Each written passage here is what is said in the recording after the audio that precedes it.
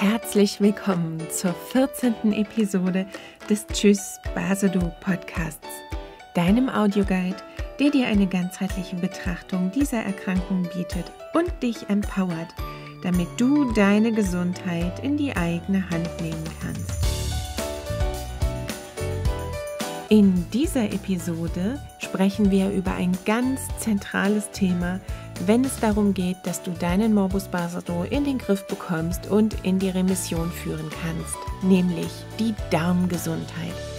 Du erfährst, wie das Zusammenspiel zwischen Darm und Schilddrüse funktioniert, wodurch dein Darm bei Morbus Basedow geschädigt wird, warum ein gesunder Darm so essentiell wichtig ist, um deinen Morbus Basedow in den Griff zu bekommen und in die Remission zu führen wir sprechen über das Leaky Gut Syndrom und was es für deine Schilddrüsengesundheit bedeutet.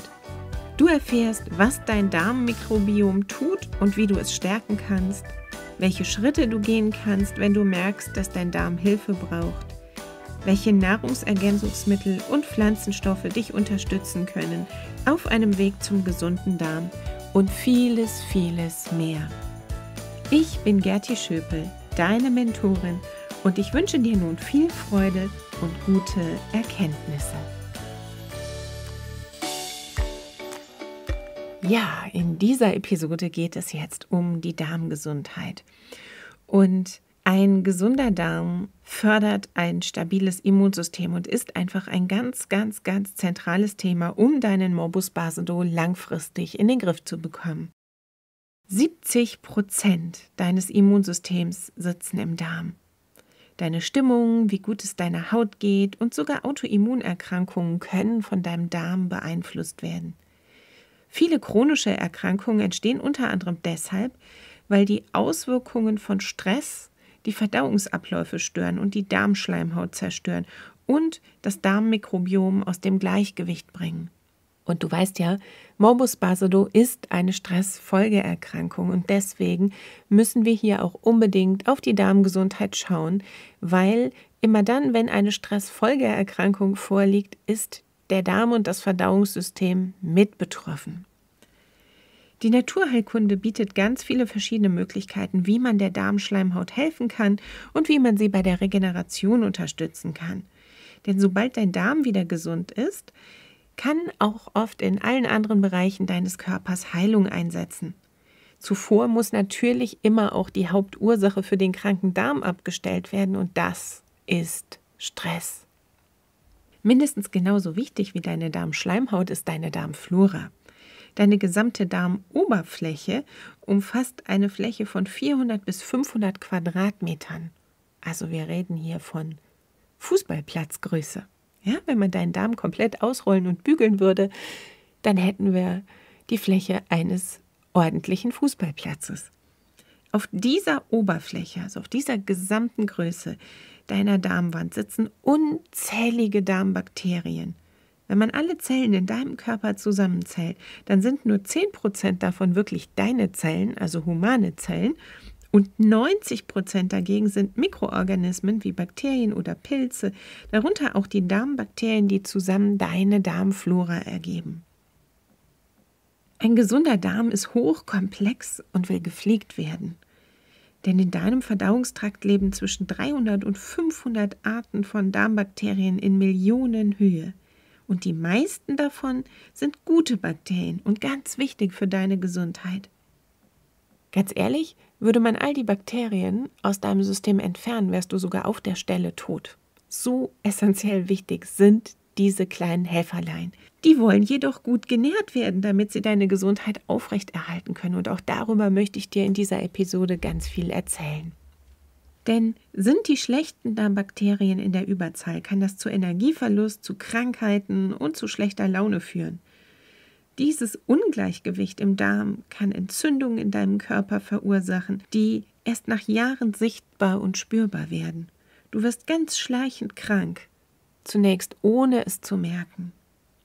Zu den Aufgaben deiner Darmflora zählen die Unterstützung der Verdauung von deinen Lebensmitteln, die du gegessen hast, die Eigenherstellung von Vitaminen, also zum Beispiel Vitamin K und B-Vitamine werden in deiner Darmflora gebildet, der Schutz deiner Darmschleimhaut, Aufbau und Training deines Immunsystems, die Entgiftung von schädlichen Stoffen, unter anderem auch den Östrogenabbau. Außerdem werden in deinem Darm Hormone wie zum Beispiel T3, also das Schilddrüsenhormon, gebildet. Aber auch das Glückshormon Serotonin kommt durch dein Darmmikrobiom zustande. Was du tun und essen kannst, um deinen Darm in einem gesunden Gleichgewicht zu halten, das klären wir gleich.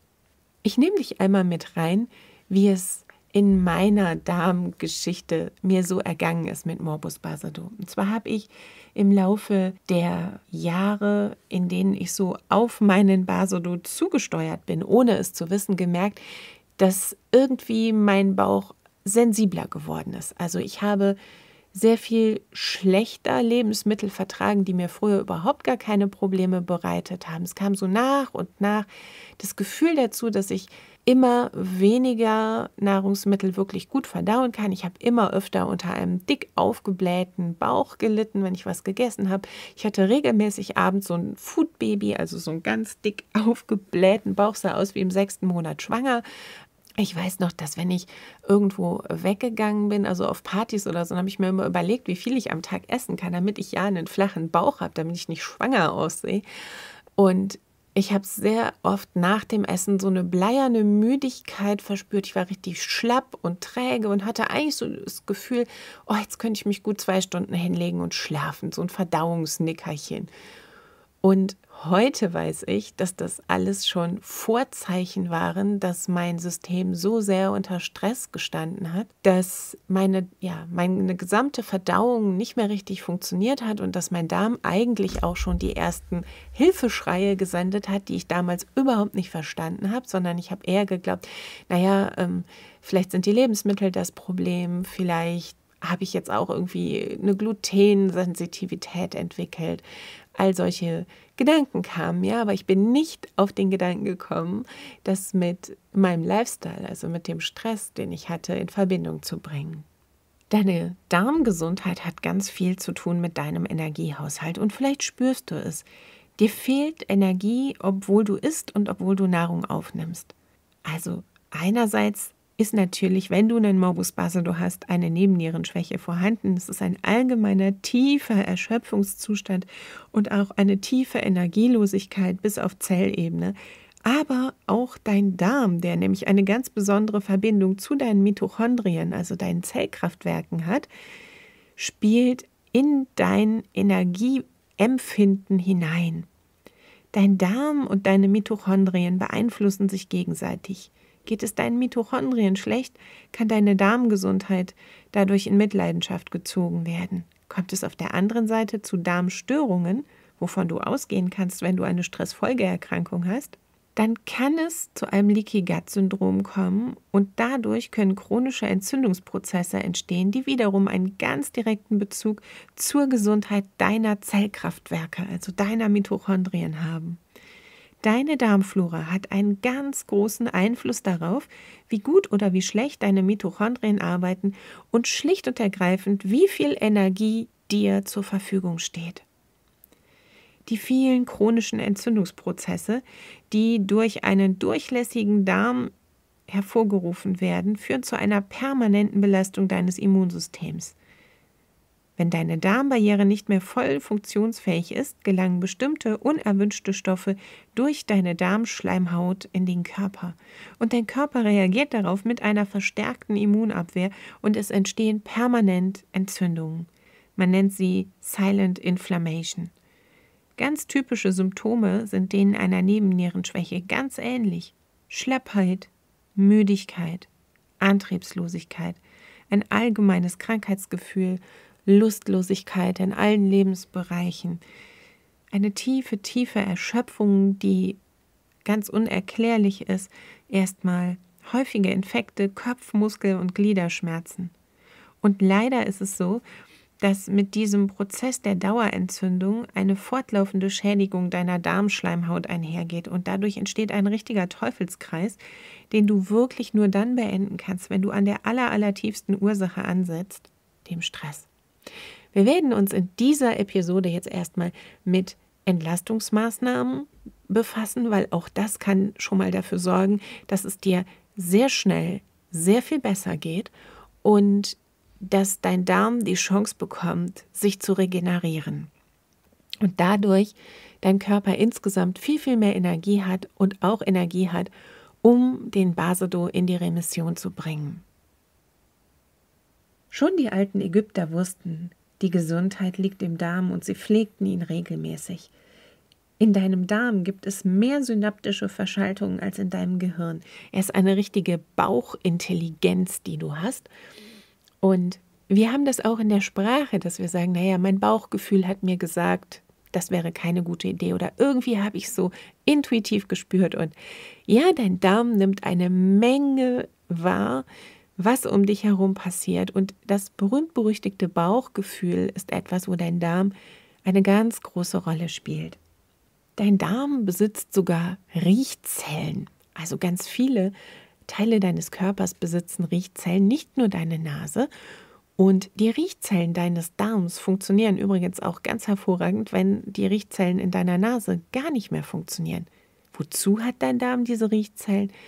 Er kann damit Einfluss nehmen auf das, was dir gerade gut tut, was du essen sollst. Und vielleicht kennst du das, dass du spontan Gelüste und Heißhunger auf ganz bestimmte Lebensmittel bekommst und ja schon richtig davon fantasierst, sie zu essen und an gar nichts anderes mehr denken kannst. Und das ist meistens ein Zeichen, dass dein Darm dir da ein ganz starkes Signal sendet, dass das gut für dich wäre.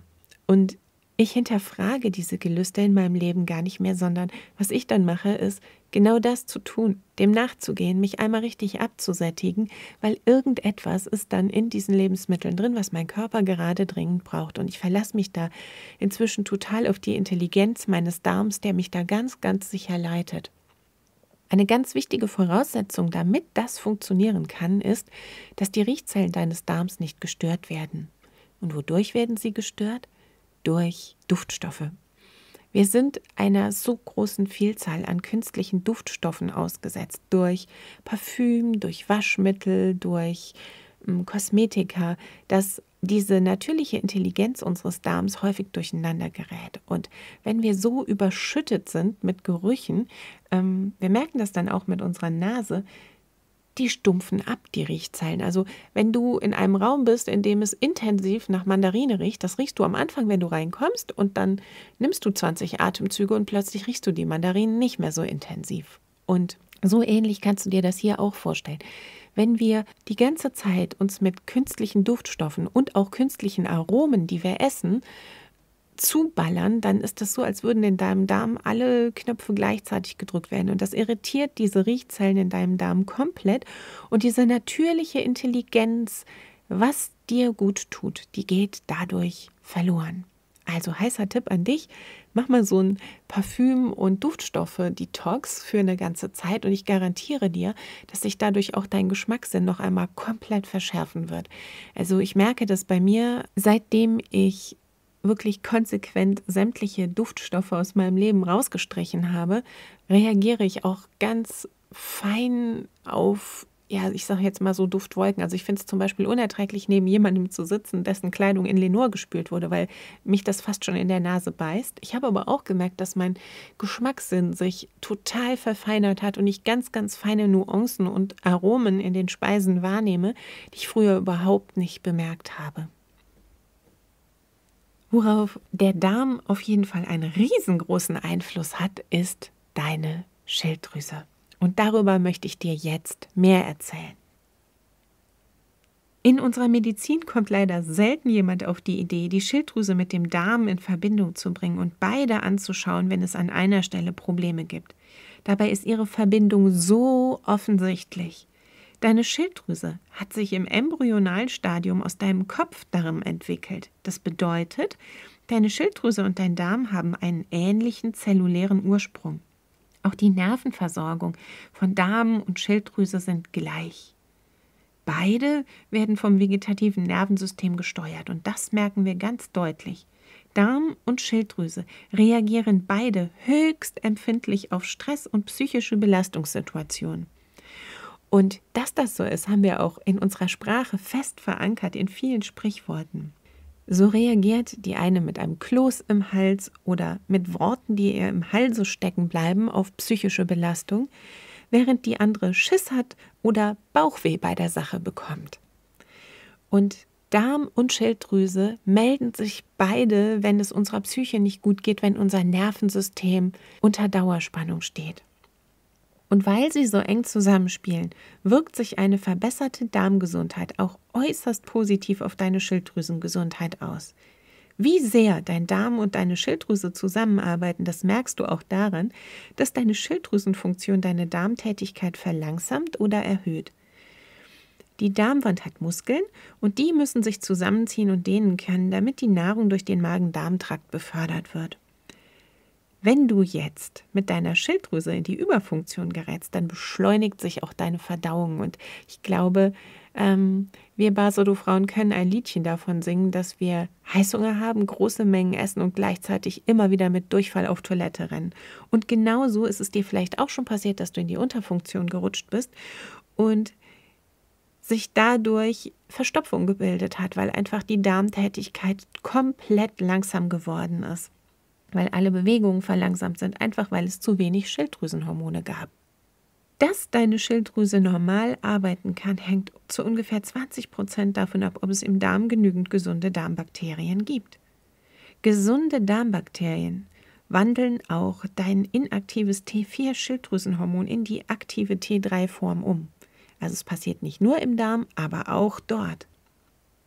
Die Schilddrüse liefert Hormone, die zu 94 Prozent aus T4 bestehen, was im gesamten Körper in T3 umgewandelt werden muss.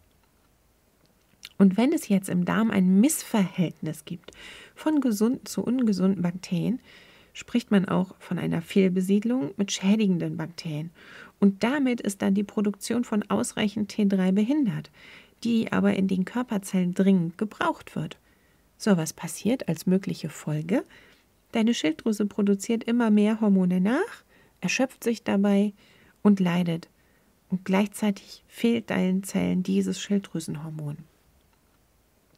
Außerdem hat die Darmgesundheit ganz, ganz viel mit der Autoimmunreaktion zu tun, die du jetzt gerade spürst, wenn du ein Morbus Basedow hast. Und darüber möchte ich dir im Verlauf dieser Podcast-Episode auf jeden Fall noch mehr erzählen. Damit du verstehst, wieso es an so vielen Stellen in deinem Verdauungssystem zu Problemen kommt, wenn du extrem viel Stress hast, möchte ich dir ein bisschen mehr darüber erzählen, wie deine Verdauung eigentlich funktioniert und an wie vielen Stellen Stress hier hineinspielt und für ein übles Durcheinander sorgt. Also, wenn du jetzt morgens früh dein Müsli isst, dann ist die erste Station deiner Verdauung der Mund. Ja?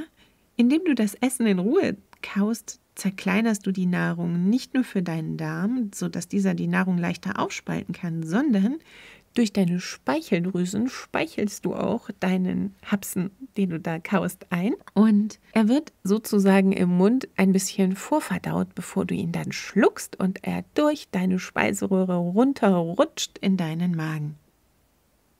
Station 2 ist dann dein Magen. In deinem Magen befindet sich idealerweise reichlich Magensäure. Die Magensäure ist eine der aggressivsten und sauersten Substanzen in deinem Körper. Und das ist richtig und wichtig. Durch diese saure Substanz können Bakterien oder überhaupt generell schlechte Bestandteile im Nahrungsbrei einfach abgetötet werden. Also erstmal ist das tatsächlich so ein kleiner Desinfektionsvorgang, der da stattfindet. Sich selbst schützt dein Magen übrigens durch einen dicken Schutzfilm, den die Magensäure nicht durchdringen kann. Das Essen wird jetzt im Magen hin und her bewegt, weil auch der Magen zieht sich zusammen, der hat so Magenmuskeln oder der ist wie ein großer Muskel, der ja, knetet dein Essen sozusagen einmal getüchtigt durch. Und wenn er damit fertig ist, dann rutscht dein Frühstück Richtung Zwölffingerdarm. Achtung, hier haben wir jetzt schon die erste Station, also im Magen noch, wo Stress zu richtigen Problemen führen kann. Denn bei Menschen mit Nebennierenschwäche und Stressfolgeerkrankungen liegt häufig ein Mangel an Magensäure vor, der sich sogar wie Sodbrennen anfühlen kann. Wenn das bei dir der Fall ist, dann probier einfach mal aus, was passiert, wenn du zu jedem Essen eine Spalte Zitrone dazu gibst und einfach für mehr Säure sorgst. Das kann meistens schon dazu führen, dass diese brennenden Beschwerden aufhören. Durch das gezielte Ansäuern kann einfach ein Magensäuredefizit ausgeglichen werden und die Beschwerden lassen meistens sehr schnell nach. Zwar ist damit die Ursache nicht behoben, also die Nebennierenschwäche, die dazu geführt hat, dass weniger Verdauungssaft in deinem Magen gebildet wird, aber es ist zumindest schon mal eine Entlastungsmaßnahme, die dafür sorgt, dass du nicht unnötig leiden musst. Die nächste Station deines Frühstücks ist dann der Zwölffingerdarm. Im Zwölffingerdarm wird der Nahrungsbrei, der jetzt aus deinem Magen rauskommt, der ja ganz sauer ist, noch mit Magensäure durchsetzt, neutralisiert. Das muss geschehen, denn nur der Magen hat diesen Schutzfilm, der vor übermäßiger Säure schützen kann. Außerdem kommen jetzt weitere Enzyme hinzu aus deiner Bauchspeicheldrüse und aus deiner Gallenblase und die sorgen dafür, dass dein Essen weiter verdaut werden kann. Bei Nebennierenschwäche fehlen hier oft Verdauungsenzyme, weil einfach deine inneren Organe wie abgestellt werden. Durch Stress wird der gesamte Verdauungsapparat lahmgelegt und es werden einfach viel weniger Verdauungssäfte gebildet. Und ähnlich wie bei dem Zitronensaft gerade eben, kannst du als erste Entlastungsmaßnahme Verdauungsenzyme zu deinem Essen dazu nehmen. Zum Beispiel Papain und Bromelin aus Papaya oder Ananas. Du bekommst sie zum Beispiel bei Kidosha und mit dem Rabattcode 10gerti sparst du auch nochmal 10% auf deine Bestellung. Ich verlinke dir alles in den Show Notes. In roter Beete sind ebenfalls Verdauungsenzyme enthalten, das Betain. Selbstverständlich kannst du auch Papaya, Ananas und rote Beete in frischer Form ganz oft in deinen Speiseplan einbauen, weil du dann die guten Enzyme direkt mit deiner Nahrung hinunterschickst. So, die nächste Station, die wir haben, ist dann der Dünndarm. Im Dünndarm wird die Nahrung weiter zersetzt. Das schafft der Dünndarm in Zusammenarbeit mit der Bauchspeicheldrüse, die die benötigten Verdauungssäfte herstellt. In dem fünf Meter langen Dünndarm können die Nährstoffe aus der Nahrung in dein Blut übergehen, weil die Schleimhaut ein totales Wunder ist. Die Schleimhaut in deinem Dünndarm ist wie ein super intelligenter Filter, durchlässig für Nährstoffe, hält aber normalerweise jedenfalls alle Fremdeiweiße, abgestorbene Zellen, Bakterien und Mikroorganismen, die in deinem Blut nichts verloren haben, zurück. Es ist ein ganz, ganz, ganz sensibles Zusammenspiel, was da passiert, damit Nährstoffe in deinem Blutkreislauf gelangen, aber schlechte Bestandteile aus der Nahrung ihren Weg in deinen Körper eben nicht finden. Und genau hier ist häufig ein ganz großes Problem.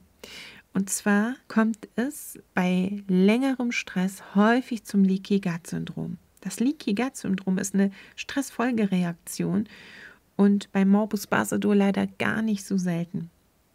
Durch den ganzen Stress und auch die dadurch entstehenden Verdauungsbeschwerden wird die Darmwand angegriffen und Giftstoffe können in deinen Blutkreislauf gelangen. Die sogenannten Tight Junctions, also die Stellen, wo eben die Nahrungsbestandteile Durchlass finden im Filter, die leiern sozusagen so ein bisschen aus und dein Darm wird löchrig.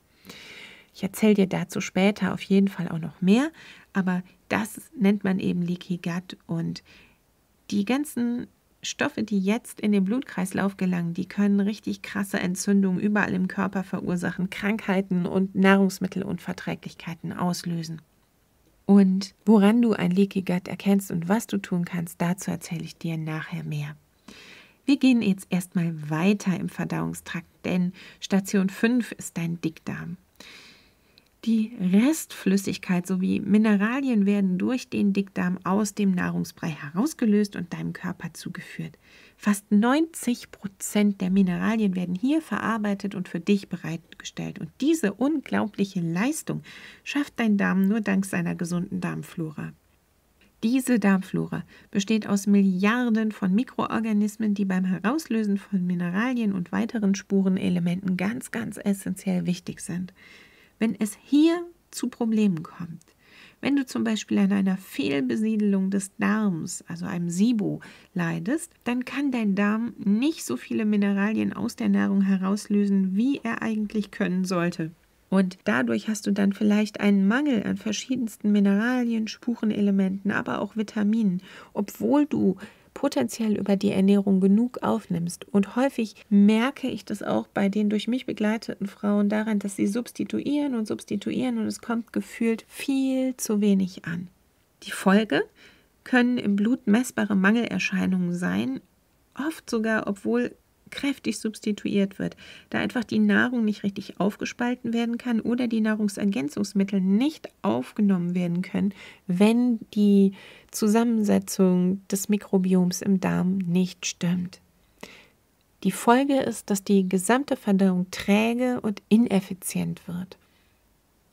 So, und Station 6 ist dann eben das Klo.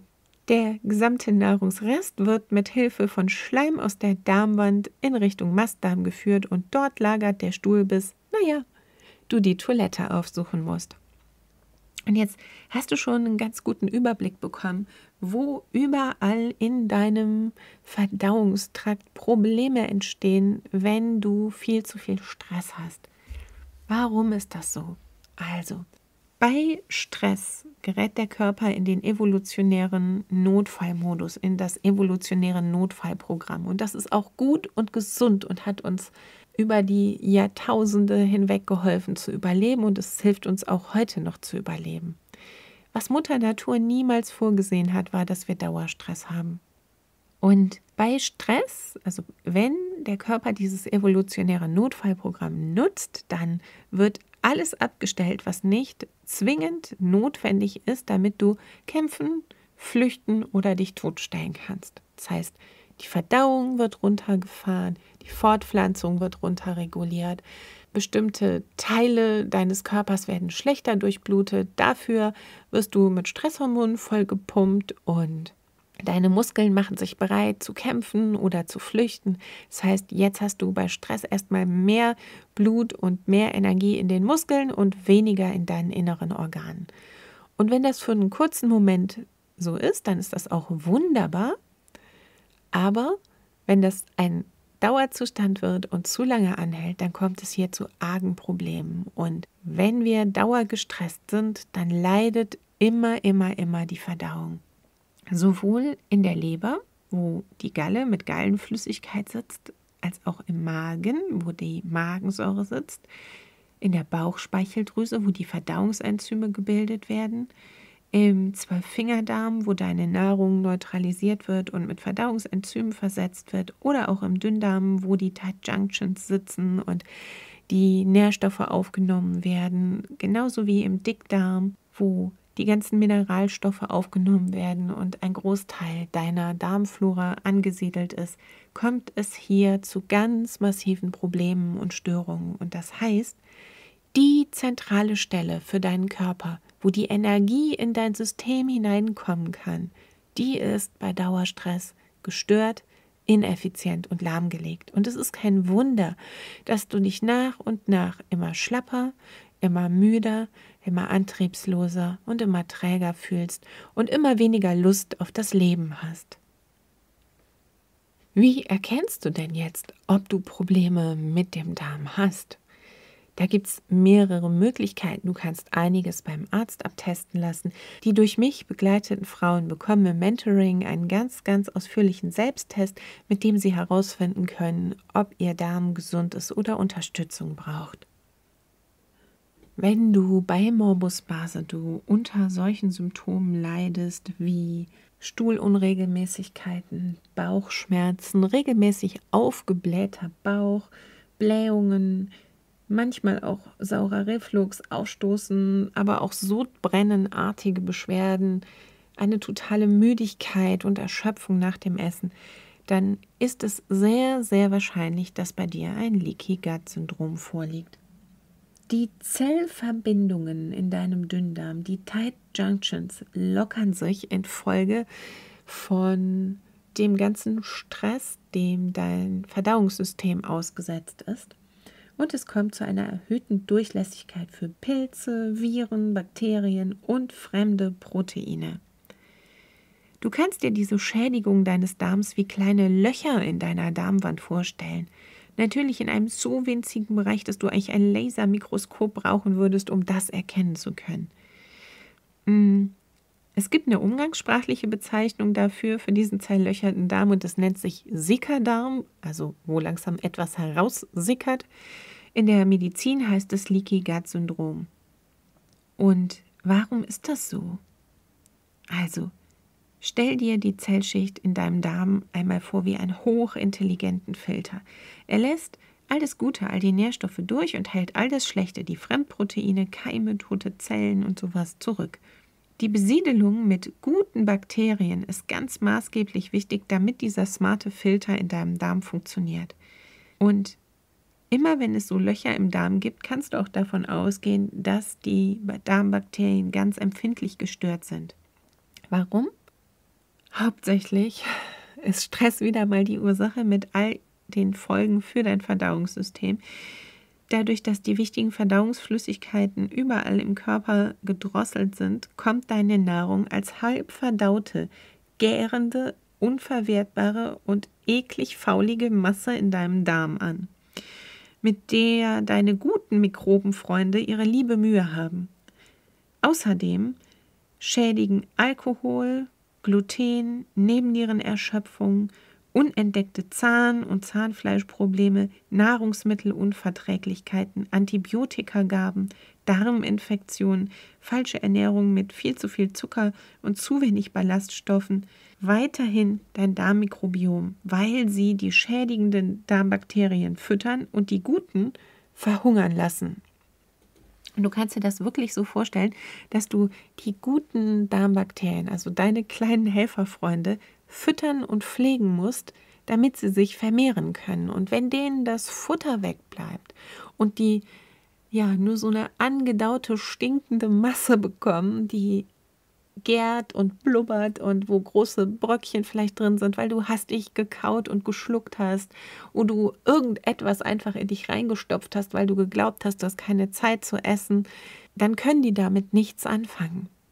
Wer damit aber meistens sehr wohl was anfangen kann, sind die schlechten Darmbakterien. Und du hast immer beide in deinem Darm. Es kommt hier eben auf die gesunde Mischung, auf das gesunde Verhältnis an. Und wer sich dann genau darauf stürzt, das sind die schlechten Darmbakterien. Und die haben jetzt optimale Bedingungen, um sich bestens zu vermehren. Und gleichzeitig ist es auch so, dass wenn du zum Beispiel zu wenig Magensäure hast, oben, also durch deinen Mund, allerlei schädigende Mikroben in deinen Verdauungstrakt hineinkommen können und dann eben nicht abgetötet werden durch die Magensäure und nicht nur ja Bakterien können hier in deinen Körper gelangen, sondern eben auch Parasiten wie Würmer, die weiter zu Problemen in deinem Verdauungstrakt führen.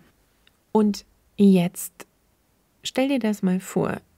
Du hast Löcher in deinem Darm, also diese Tight Junctions, dieser intelligente Filter, der eigentlich immer dann zumacht, wenn etwas Falsches ankommt, der wird jetzt locker durch die ganzen Blähungen und das ganze Geschehen, was da in deinem Darm die ganze Zeit abläuft. Und plötzlich kann in mikroskopisch kleiner Form unverdaute Nahrung in deinen Blutstrom gelangen. Plötzlich zirkulieren Keime und fremde Stoffe in deinem Blut. Stell dir das mal vor. Ist ja kein Wunder, dass es dann nach einem völlig harmlosen Essen zu Reaktionen kommen kann, wie unangenehmen Hauterscheinungen, juckenden Stellen, Rötungen, Schwindel und vieles, vieles mehr. Dein Immunsystem gerät ja völlig außer Rand und Band, weil es sieht plötzlich den ganzen Körper von Feinden überspült und es beginnt natürlich auch unverzüglich mit seiner Aufgabe. Ja, sofort gehen deine Fresszellen los und attackieren all diese kleinen Stoffe und Eiweiße und Mikroben, die in deinem Blut nichts verloren haben.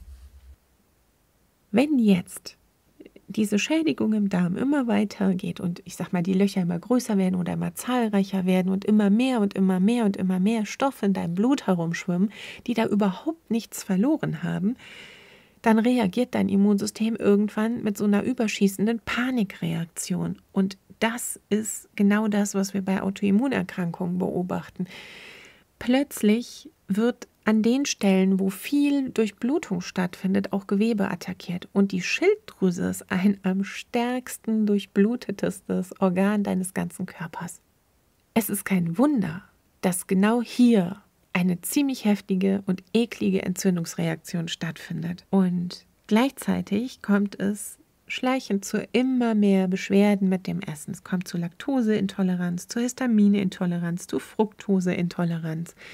All diese Verdauungsbeschwerden sind oft so eine Begleiterscheinung bei Morbus Basedow und auch anderen Autoimmunerkrankungen der Schilddrüse, wie zum Beispiel einem Hashimoto.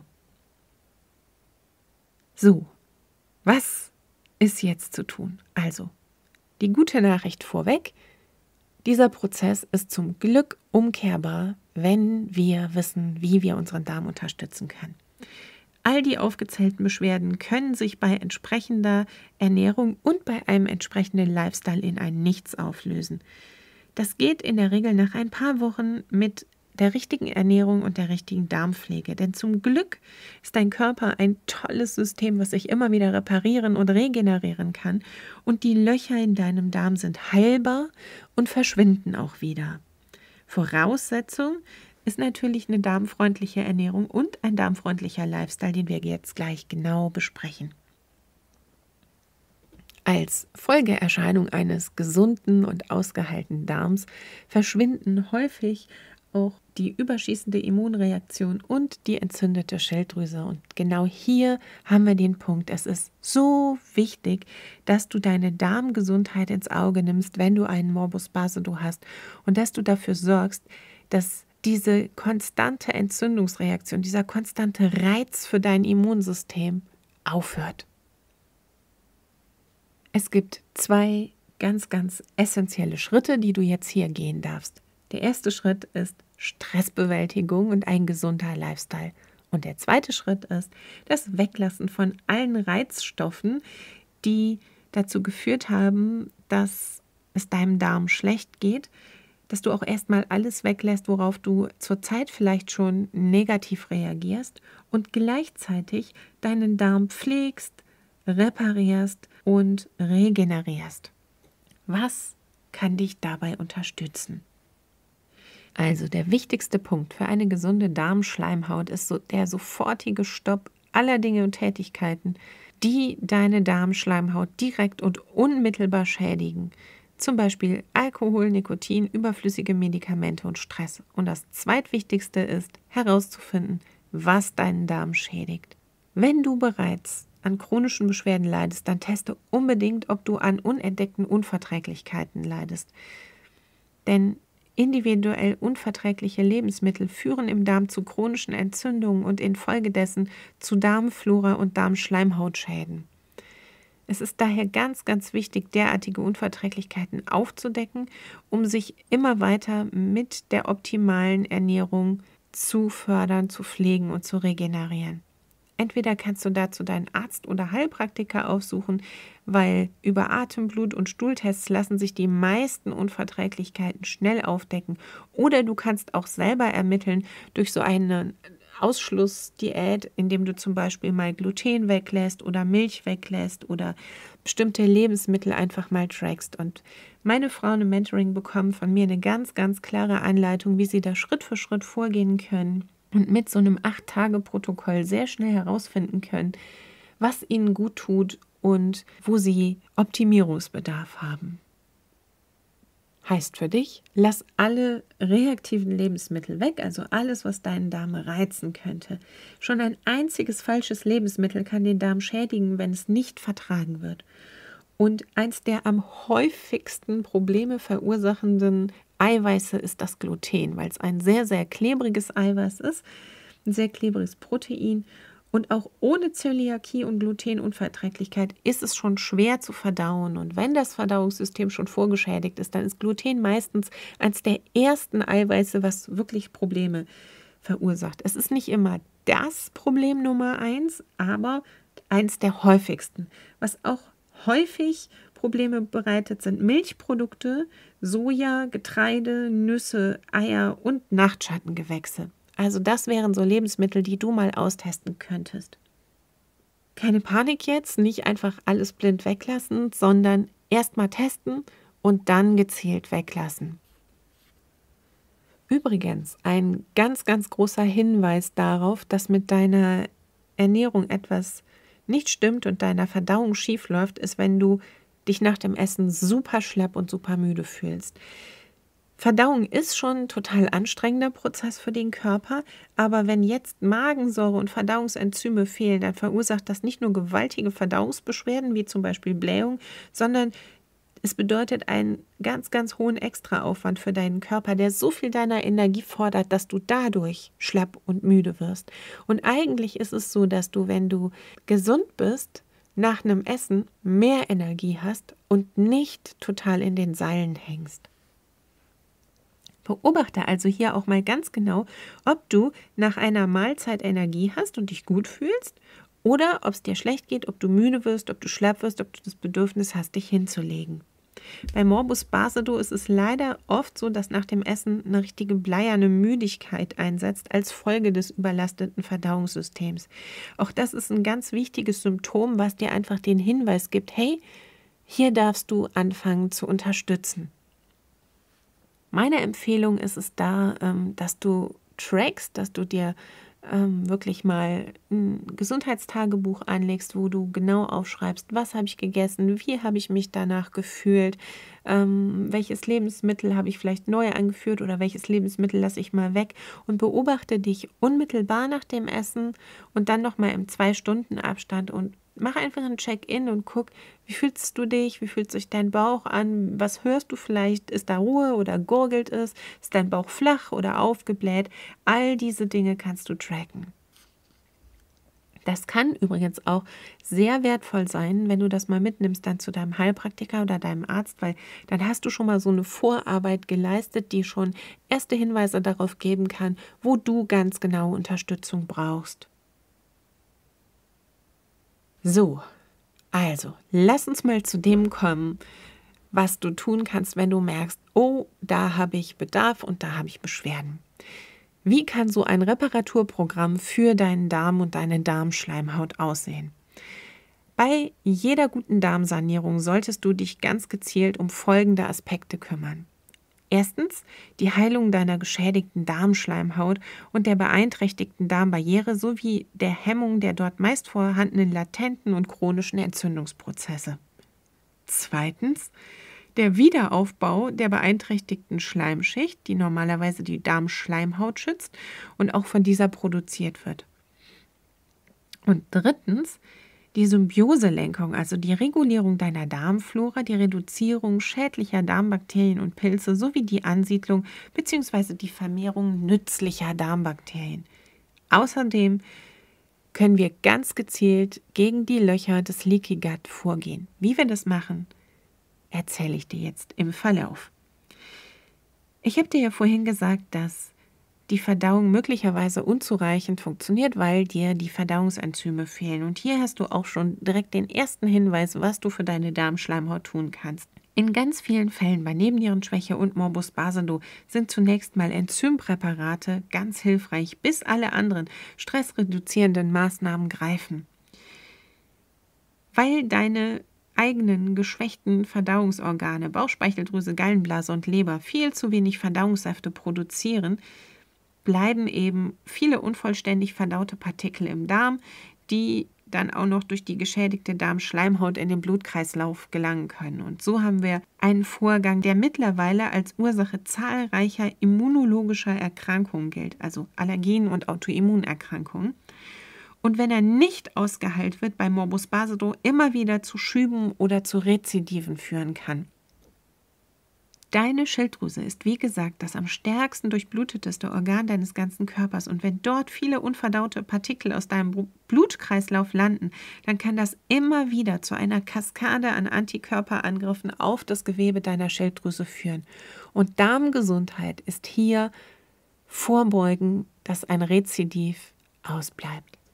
Inzwischen gibt es einige Enzympräparate im Handel, die dir dabei helfen können, Eiweiße besser zu verdauen, wie das erwähnte Papain und Bromelin, aber es gibt inzwischen auch Enzympräparate, die dir sogar helfen, Gluten zu verdauen.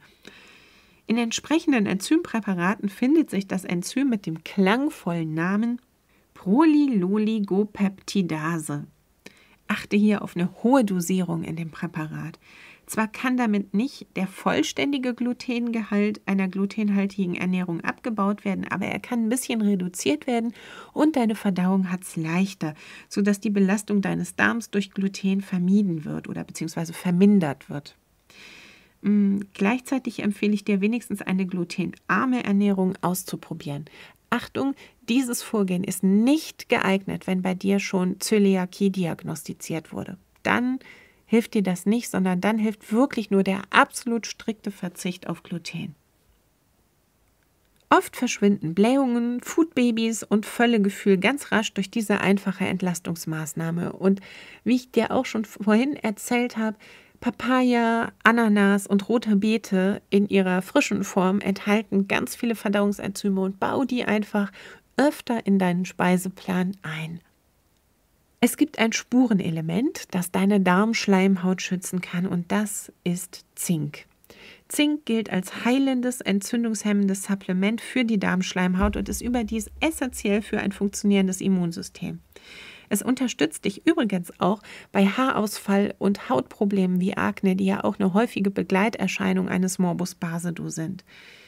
Also Zink ist eins meiner liebsten Spurenelemente bei Morbus Basedow, weil es einfach an so vielen Stellen deinen Körper kräftigt und unterstützt.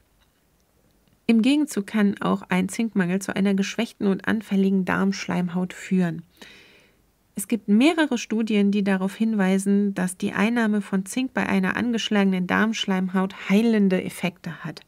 In der einen ergab sich sogar, dass die Nahrungsergänzung mit Zink bei Patienten mit Morbus Crohn, was eine entzündliche Darmerkrankung ist, zu einer deutlichen Kräftigung der Darmschleimhaut führte. In der zweiten Studie zeigte sich sogar, dass Zink in der Lage ist, die Durchlässigkeit des Darms bei einem Leaky Gut Syndrom zu lindern, das die Schließ- und Wachfunktion der sogenannten Junctions stärkt und bessert. Zink wird auch bei Nebennierenschwäche empfohlen und zwar 50 Milligramm pro Tag mindestens. Du bekommst ein hochwertiges und sehr gut verträgliches Zink aus Guavenwasser nochmal Du bekommst ein hochwertiges, gut verträgliches Zink aus Guavenblatt-Wasserextrakt bei Kidosha. Auch hier Link in den Shownotes und auch hier gilt mein Rabattcode 10GERTI.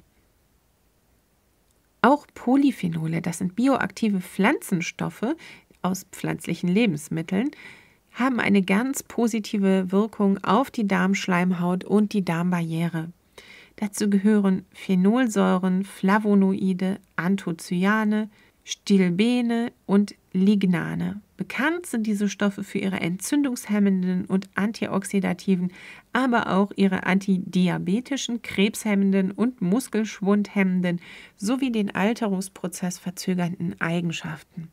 Unterm Strich die guten Dinge aus Obst und Gemüse. Gönn dir Grapefruit, Mandarinen, Orangen und Co. Das Naringenin aus Zitrusfrüchten unterstützt die Bildung deiner Tight Junctions. Zwar enthalten Orangen und Mandarinen gewisse Naringenin-Mengen, also 10 bis 15 Milligramm pro 100 Gramm, aber Grapefruits und Kumquats sind deutlich bessere Quellen. Die haben zwischen 53 und 57 Milligramm. Selbst Grapefruitsaft enthält immer noch um die 18 Milligramm Naringenin. Allerdings ähm, achte darauf, dass es ein frisch gepresster Saft ist mit viel Fruchtfleisch. Und das ist tatsächlich eine sehr leckere Darmdiät und gerade jetzt in der kühlen Jahreszeit, wo wir viele Zitrusfrüchte haben, auch sehr gut umsetzbar. Auch Quercetin kann dich unterstützen, deine Darmschleimhaut zu heilen. Quercetin ist ein Pflanzenstoff aus Äpfeln, Zwiebeln, er kommt in grünem Blattgemüse vor und sorgt für gut funktionierende Tight Junctions. Gönn dir ganz viele von diesen Lebensmitteln. Du kannst Quercetin aber auch gezielt supplementieren. Ähm, auch da findest du bei Kidosha ein entsprechendes tolles Präparat. Link in den Show Notes. Auch Kurkumin, OPC und Resveratrol und Anthocyane können dich unterstützen.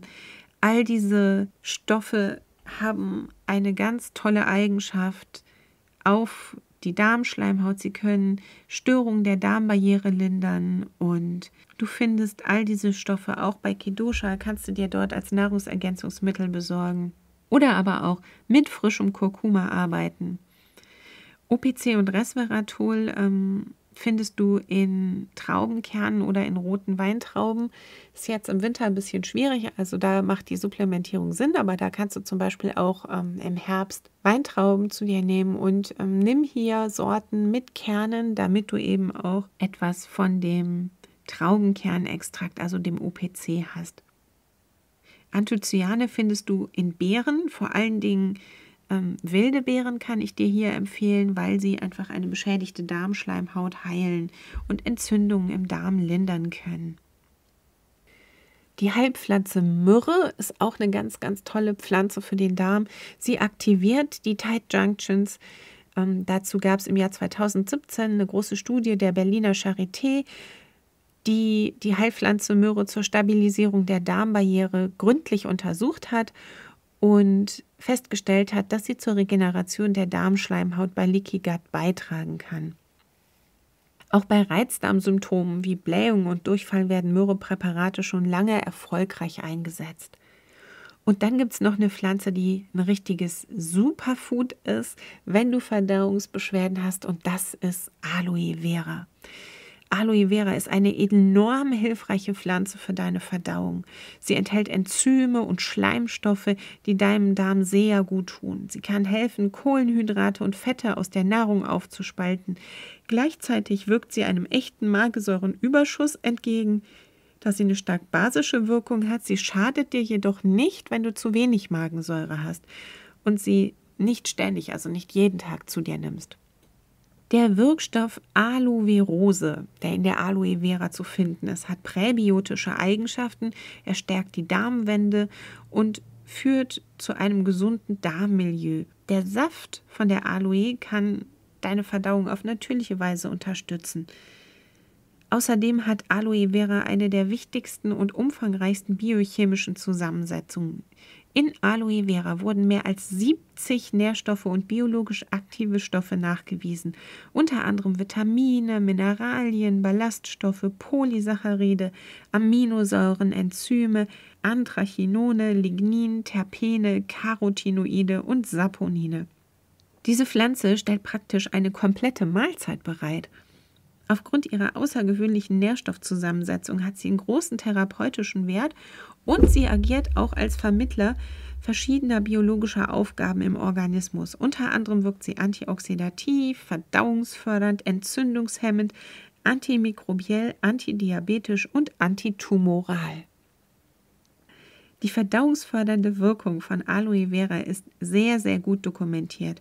Viele Studien zeigen, dass das Gel der Aloe Vera erfolgreich zur Unterstützung der Entgiftung des Organismus und zur Förderung einer guten Verdauung und in ganz konkreten Fällen auch bei entzündlichen Darmerkrankungen, Reizdarmsyndrom und Infektionen mit Helicobacter pylori, also die Hauptursache für Magengeschwüre, eingesetzt wurde. Die klinische Wirksamkeit von Aloe Vera und die Sicherheit bei Colitis ulcerosa und chronischen Geschwüren wurde gut untersucht und an vielen Patienten mit Reizdarmsyndrom erfolgreich belegt. Aloe Vera hat auch einen sanft abführenden Effekt bei Verstopfung und kann deiner Verdauung einfach an ganz, ganz vielen Stellen sehr viel Gutes tun. Damit du dir keine Sorgen machst, hier ein Hinweis. Eine leichte Rotfärbung des Urins während der Behandlung mit Aloe Vera ist völlig normal und harmlos. Du bekommst Aloe Vera Saft zum Trinken in Drogerien oder im Netz und wenn du das Glück hast und so eine Pflanze besitzt, dann kannst du auch das Innere der fleischigen Blätter zum Beispiel in deine Smoothies tun. Ich habe auch schon mal gesehen, dass in ja, gut sortierten Läden äh, mit einer gut sortierten Obst- und Gemüseabteilung Blätter von Aloe Vera in der Gemüseabteilung angeboten werden. Also vielleicht hast du Glück und findest da auch ein frisches Blatt. Das hält sich im Kühlschrank sehr lange und du kannst da immer ein Stück von abschneiden. Ja, und jetzt würde ich dir gerne noch einen ganz tollen Tipp geben, wie du mögliche Löcher in deiner Darmschleimhaut heilen kannst. Denn es gibt etwas, das wie ein Pflaster von innen deine löchrige Darmschleimhaut zukleben kann und das ist Kollagen. Bei ganz, ganz vielen Naturvölkern ist Knochenbrühe als Heil- und Stärkungstrank bekannt. Und auch bei uns hat man früher Wöchnerinnen und kranken Menschen, die sehr erschöpft waren, Knochenbrühe gegeben, um sie wieder aufzupäppeln. Knochenbrühe ist einerseits ultranährstoffreich und äußerst bekömmlich, aber sie enthält auch große Mengen Kollagen. Und immer häufiger wird auch bei uns darmkranken Menschen zum Verzehr von Knochenbrühe geraten, da diese eine angeschlagene Darmschleimhaut reparieren kann. Der Heileffekt kommt von dem hohen Kollagengehalt dieser Brühe. Wahrscheinlich hast du Kollagen schon mal im Zusammenhang mit Kosmetikprodukten gehört, weil Kollagen häufig für eine Straffung und Verjüngung der Haut angepriesen wird. Aber Kollagen ist vor allen Dingen auch ein fantastisches Mittel, um deinen Darm zu heilen. Kollagen ist in deinem Körper keine Seltenheit, also Du hast es sogar super oft und super häufig in dir. Es macht zwischen 25 und 30 Prozent deines Gesamtproteingehalts aus und findet sich besonders in deinem Bindegewebe und damit also in deiner Haut, in den Bändern, in den Sehnen, deinen Gelenkknorpeln, Blutgefäßwänden, in deinen Organen, aber auch in deinen Knochen und Zähnen. Gebildet wird das Kollagen von den Bindegewebszellen, den Fibroblasten. Im Darm kann Kollagen beim Aufbau einer gesunden Darmschleimhaut helfen, da es die dafür benötigten Aminosäuren liefert, etwa Prolin, Lysin und Glycin.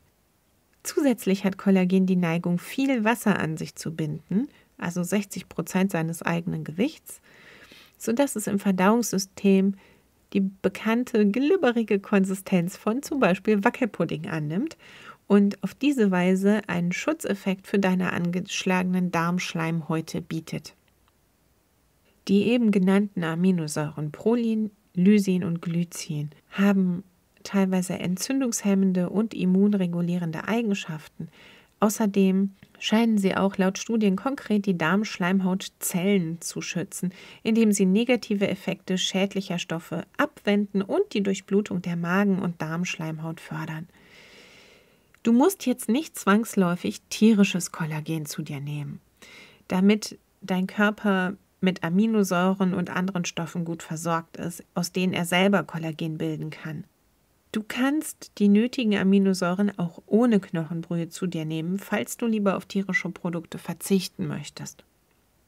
Glycin beispielsweise ist keine essentielle Aminosäure. Sie kann vom Körper selbstständig aus der Aminosäure Serien hergestellt werden. Serien findet sich zum Beispiel in großen Mengen Erdnüssen, Linsen, Sojaprodukten und in Hirse, wobei alle diese vier Lebensmittel mehr Serien enthalten als die meisten Fleisch-, Fisch- und Milchprodukte. Zusätzlich ist es sehr sinnvoll, deinen Organismus mit jenen Nähr- und Vitalstoffen aus Pflanzen zu versorgen, die deine körpereigene Kollagenproduktion ankurbeln. Ganz wichtig, du brauchst die passenden Kofaktoren, zum Beispiel Vitamin C, also aus Obst und Gemüse. Ohne Vitamin C ist die körpereigene Kollagensynthese blockiert.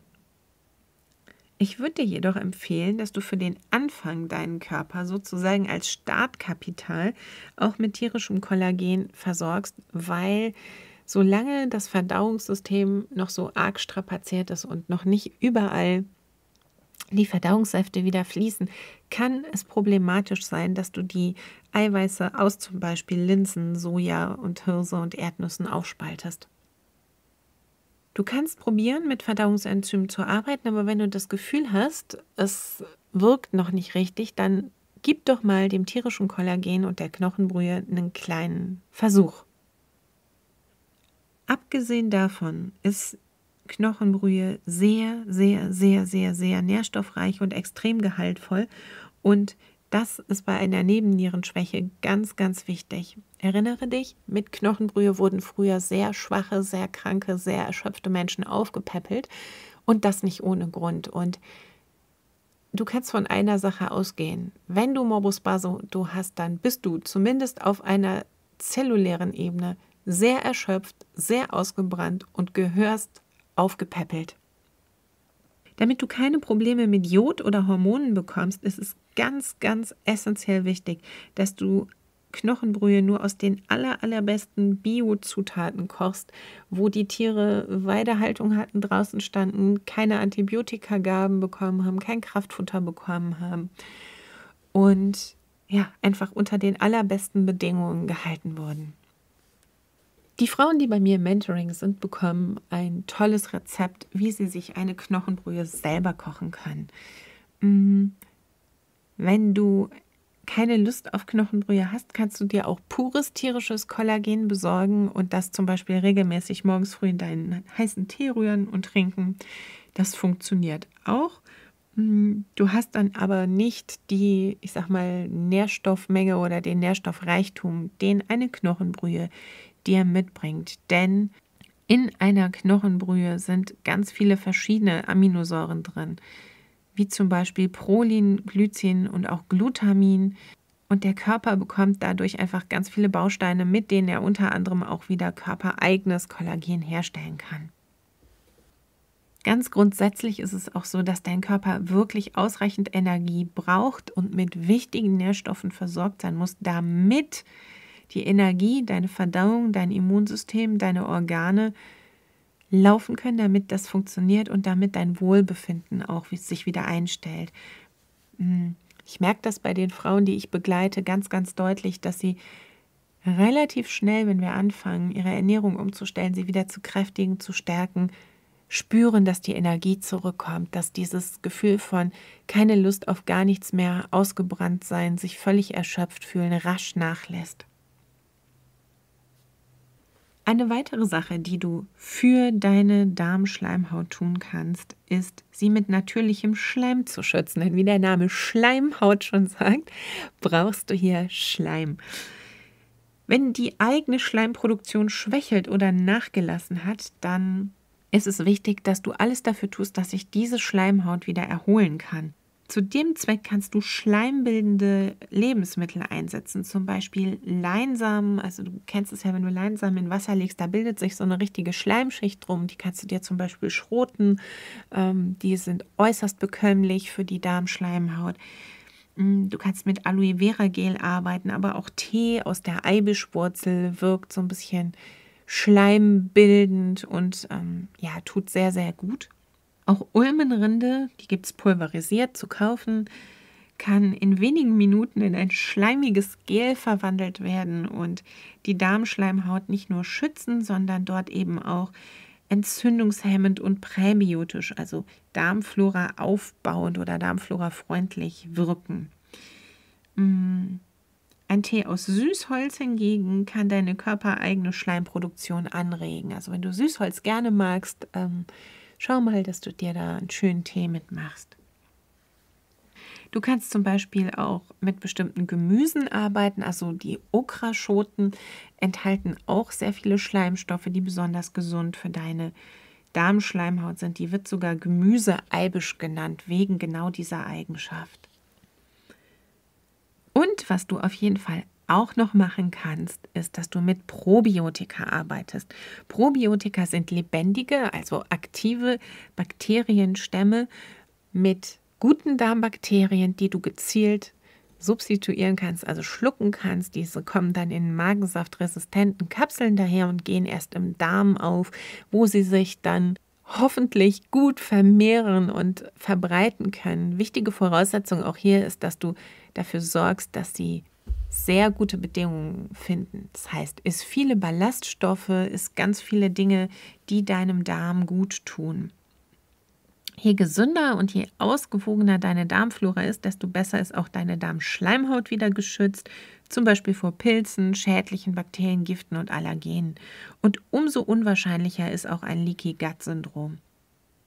Vielleicht hast du schon mal nach einer Antibiotikatherapie mit Probiotika gearbeitet, dann kennst du das. Wenn du den Verdacht hast, dass es deiner Darmschleimhaut nicht gut geht, dann macht eine möglichst tägliche Einnahme von Probiotika wirklich Sinn und ist eine ganz tolle Komponente, um da deine Darmschleimhaut wieder aufzubauen und einfach ähm, ja, dein, dein Darmmikrobiom zu stärken. Und was du hier auch machen kannst, ist, dass du mit fermentierten Lebensmitteln arbeitest. Und meine absolute Lieblingsfirma in diesem Bereich ist die Firma Ferment. Ich verlinke dir das in den Show Notes. Ihr Motto ist Lass Mikroben toben. Hier bekommst du so gut wie jede Starterkultur, um selber deine Lebensmittel mit gesunden Mikroorganismen zu fermentieren. Also vom Kombucha bis zu Kimchi ist einfach alles dabei. Und es ist total leicht, sich selber fermentierte Lebensmittel herzustellen. Also ich mache das selber regelmäßig. Das hat schon meine Oma gemacht. Ähm, die hat immer so saure Gurken und Sauerkraut selber milchsauer eingelegt. Das ist ganz, ganz easy, dieses Verfahren. Findest du auch, wenn du mal googelst, ganz viele Beschreibungen und Rezepte zu. Und ja, du hast einfach nur mal die Möglichkeit, Gemüse wirklich in eine bekömmliche Form zu bringen und auch deinen Speiseplan mit Lebensmitteln zu erweitern, die du vielleicht so noch nicht probiert hast oder einfach mal eine neue Geschmacksrichtung auch mit reinzubringen. Hm. Alternativ gibt es gut verkapselte Präparate zum Schlucken, zum Beispiel bei Sunday Natural oder bei Everydays. So, also, ich fasse nochmal zusammen. Zwei Schritte, um deinen Darm zu sanieren, heißt, lass schädigende Sachen weg. Schritt zwei, lerne die guten Sachen kennen und anwenden. Und alle Maßnahmen zur Heilung deiner Darmschleimhaut auf einen Blick gebe ich dir hier auch nochmal. Also praktiziere eine darmfreundliche Ernährung. Das heißt, viele Pro- und Präbiotika, viele Ballaststoffe, sodass deine gesunden und guten Darmbakterien hier bestes Futter vorfinden, dann saniere deinen Darm, indem du alles linderst, was Entzündungsprozesse verursacht. Arbeite mit Zink, mit Enzymen, mit Polyphenolen. Drittens, unternimm alle Maßnahmen, die direkt deine Darmschleimhaut heilen, die die Tight Junctions stärken und entzündungshemmend wirken, wie Knochenbrühe oder pflanzliche Kollagenbildner. Viertens, nutze natürliche Mittel, die die Schleimschicht deiner Darmschleimhaut kräftigen und stärken oder die Eigenschleimproduktion deiner Darmschleimhautzellen fördern, wie zum Beispiel Leinsamen, Ulmenrindentee, Aloe Vera und Eibisch. Und fünftens, nutze Probiotika zum Aufbau deiner Darmflora. Also das sind lebendig fermentierte Nahrungsmittel oder Starterkulturen, sowas ähm, wie Sauerkraut, milchsauer eingelegte Gurken. Also ganz, ganz wichtig, auch hier immer nicht erhitzen, ne? sonst gehen die guten Bakterien gleich kaputt. Ähm, du kannst mit den Produkten der Firma Ferment arbeiten oder dir Kapseln zum Beispiel von Sunday und Everydays besorgen.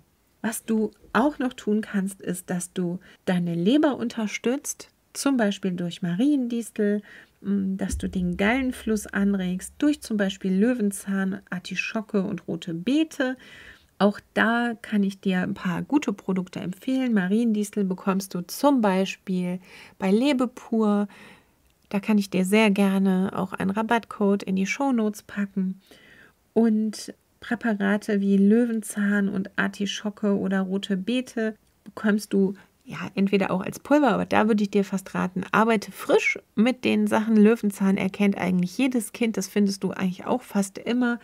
Hm, mach dir den mit in den Salat. Artischocken kannst du kaufen. Und rote Beete kriegst du jetzt im Winter auch. Und da gibt es leckere und tolle Rezepte in allen Varianten. Da hast du dann nämlich nicht nur eine Kapsel mit irgendwas, die du schluckst, sondern du hast da eben auch die Ballaststoffe und davon ernähren sich ja wieder deine gesunden Darmbakterien. Das heißt, versuch hier auch einfach so viele von den Lebensmitteln, die einfach gut sind für deinen Darm, frisch zu essen.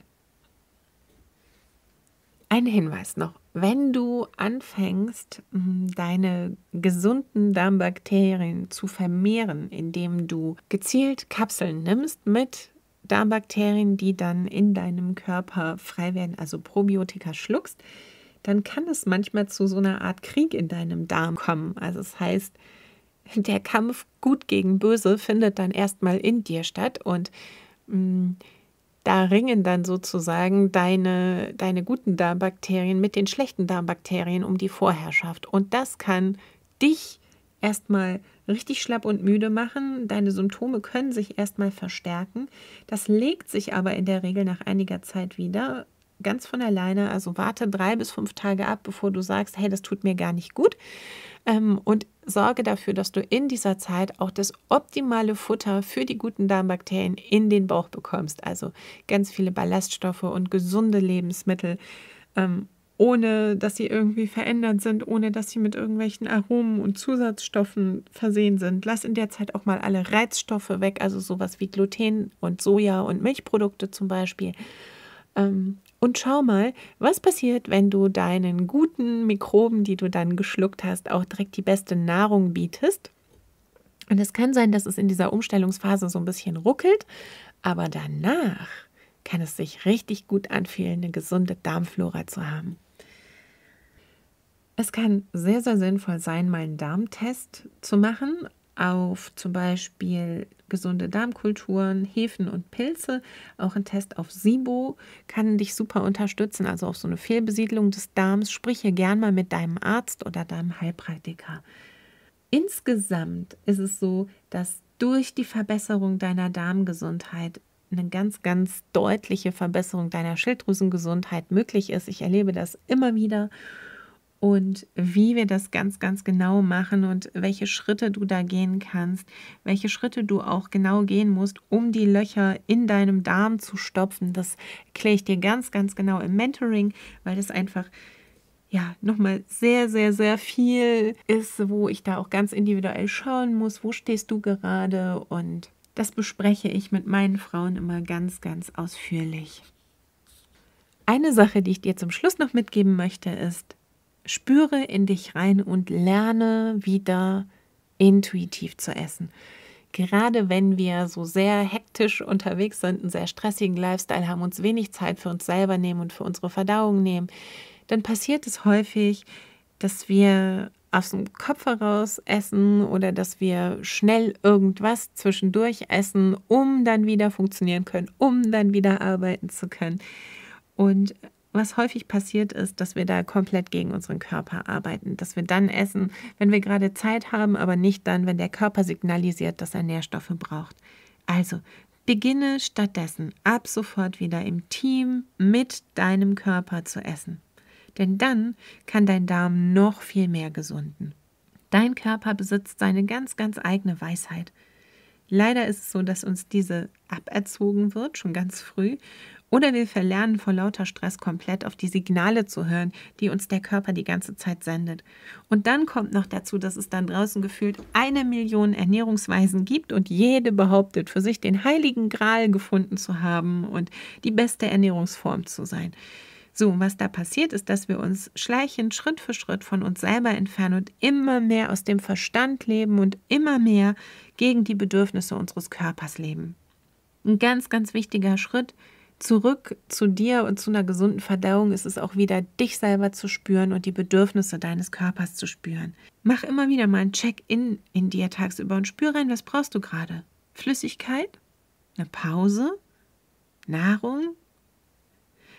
Ist nur dann, wenn du Hunger hast und nicht, wenn die Uhr sagt, dass es Zeit ist oder wenn gesellschaftlich gerade gesagt wird, so jetzt ist Zeit fürs Mittagessen. Mhm. Ich weiß, dass das nicht immer möglich ist, wenn du vielleicht Schichtdienst arbeitest oder so, aber auch da versuch so gut wie du kannst, mit den gegebenen Umständen, mit deinem Körper zusammenzuarbeiten. Nimm dir Zeit für das Essen. Iss nur, wenn du Hunger hast. Iss, bis du satt bist. Kau langsam, zerkleinere dein Essen in Ruhe. Dieses langsame Kauen ist so wichtig, damit du auch ein gutes Gespür dafür bekommst, wann du wirklich satt bist. Ja? Auch wenn dann noch drei Bissen übrig sind, hör dein Körper, hebst dir für später auf. Uns wird so eingetrichtert, komm, ist, ist die drei Happen noch auf, mach den Teller leer, ähm, es gehört sich nicht, was überzulassen, sodass wir uns häufig überfüllen. Und ein überfüllter Magen verdaut schlecht, weil wenn du da zu viel Essen drin hast, hm, dann ist auch wieder die Menge an Magensäure, die da ist, einfach nicht richtig für die Portion, die du hast. Und ein überfüllter Magen, da geht es dann auch wieder halb verdaut in den Darm. Spür wieder mehr, was dir gut tut. Auch wenn es besondere Gelüste sind, die auftauchen und vielleicht gerade nicht in deinen Ernährungsplan passen, sättige dich einmal damit ab. Es ist irgendwas drin, was du gerade brauchst. Dein Körper signalisiert dir das schon. Hab da mal Vertrauen. Auch da, du hast eine viel bessere Verdauung. Wenn du das isst, was dein Körper gerade braucht. Du hast einen viel besseren Blutzucker, wenn du wieder mehr mit dir im Einklang isst und wenn du dann isst, wenn du Hunger hast und dann aufhörst zu essen, wenn du satt bist. Viel weniger Blutzuckerschwankungen sorgen wieder zu einer Reduzierung der Stresshormone, einer Reduzierung der Hungerhormone und aktivieren deinen Zyklus und sorgen wieder für mehr Schilddrüsengesundheit. Eigentlich ist es einfach, deine Darmgesundheit zu fördern. Lass weg, was dir schadet und iss, was deinem Darm gut tut. Verbinde dich wieder mit dir selbst. Sorge dafür, dass du entspannt bist. Lass es dir gut gehen und sorge vor allen Dingen dafür, dass du cleane Lebensmittel hast, dass du reine Lebensmittel hast, dass du immer mehr und immer mehr zurückkehrst zu einem guten Gefühl für deinen Körper und für dich selbst. Hm. Ich weiß, das ist leichter gesagt als getan und ja, jeder von uns hat so seine Herausforderungen und vielleicht auch besondere Umstände. Vielleicht hast du kleine Kinder oder musst im Schichtdienst arbeiten. Es ist nicht immer easy und leicht, dir viel Zeit für dich zu nehmen. Gib hier einfach dein Bestes und arbeite Schritt für Schritt, denn auch jede kleine Verbesserung, jeder Schritt in die richtige Richtung lohnt sich so, so sehr. Der wirklich, wirklich allergrößte Feind deiner Verdauung und überhaupt deiner Gesundheit ist Stress. Und du hast jetzt erfahren, wie hart dein Darm bei der Verdauung arbeitet und was du alles tun kannst für deinen Körper. Auch hier mach dir deinen Plan, fang an, Schritt für Schritt umzusetzen. Geh kleine Schritte. Du wirst sehr schnell merken, dass dein Körper sehr dankbar reagiert und hier sehr schnell auch erste Fortschritte zeigt. Und wenn du gerne mehr und wissen möchtest zu dem Thema, wenn du dir Unterstützung wünschst, wenn du mit deinem Morbus Basedow strugglest und einfach nicht weißt, wo du zuerst ansetzen sollst und was genau die Ursache bei dir ist und wie du das überhaupt alles in deinen Alltag integrieren sollst, dann lade ich dich von Herzen ein, Bewirb dich für ein Kennenlerngespräch, bewirb dich dafür, dass du ins Mentoring kannst.